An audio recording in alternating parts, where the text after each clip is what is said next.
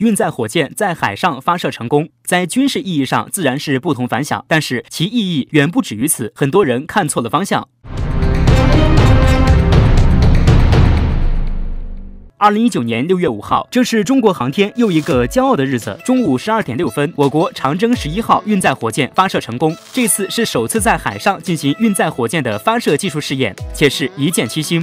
火箭是最典型的军民技术融合的成果。在军事应用方面，运载火箭就是弹道导弹，装载在头部的卫星在军事应用上相当于弹头，一箭七星在军事应用上相当于多弹头分发技术。当然，这只是简单的比喻，真正在细节上，运载火箭同弹道导弹技术处理上要复杂的多，也有很大的不同。运载火箭在海上发射成功，在军事意义上当然是不同凡响。在过去一年多的时间中，有军事分析人士就指出，零五五型驱逐舰将可能搭载东风二。十一 D 舰载版弹道导弹，这种技术同海上发射火箭差不多。长征十一号火箭能够在民用船舶上发射，那么东风二十一 D 肯定可以在零五五型驱逐舰上发射，这是同样的道理。分析称，海上发射运载火箭或是弹道导弹，相当于是东风快递和巨浪快递的深度融合。长征十一号运载火箭发射成功，看起来似乎是这么回事儿，将陆基和潜射结合，成为新型的海基模式。不过，这次海上成功发射的最大意义不在于此，而是低纬度发射火箭，这将颠覆现有的国际卫星发射市场。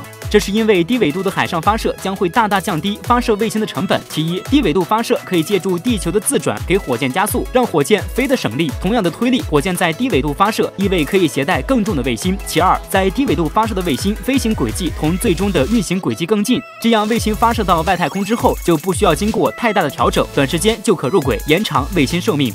从现代火箭发射技术的角度来说，毫无疑问，只有掌握了海上发射卫星的技术，才能更快、更加高效地发射卫星，加速我们创造大太空时代。从这个角度来说，本次海上发射成功，其意义巨大。中国在该领域站在了世界的前沿。零五五型驱逐舰上安装东风二十一 D 弹道导弹，只是其中一个很小的应用而已。